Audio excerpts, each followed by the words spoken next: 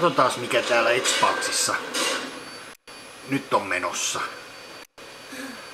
Joo, tämän päivän suurin game. Tämmöisiä ne on kyllä siinä hyvä kuva on, mutta mikähän tämän, tämän gamein tarkoitus on muuta kuin kulkea tuolla ja suutata. Ei siinä oikein mitään muuta järkeä olevan muuta kuin toi. Toi juoksee tuolla ja se suuttaa kaikki kun se näkee tai tulee eteen. Onkohan siinä minkäännäköistä juonta tai tarkoitusta tai tehtävää, mitä sen pitäisi tehdä muuta kuin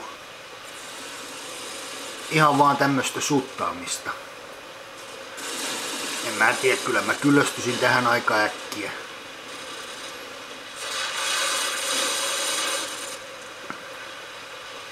Mut tällä tavalla se nyt näyttää tässä menevän, että ruumiita tulee joka, joka puolelta.